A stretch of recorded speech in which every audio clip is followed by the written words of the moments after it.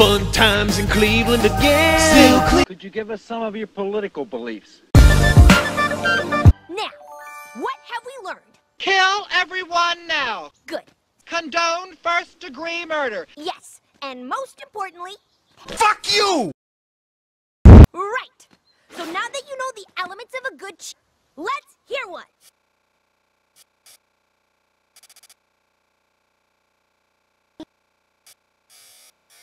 You're gonna take that? Louder. Come on down to Cleveland town.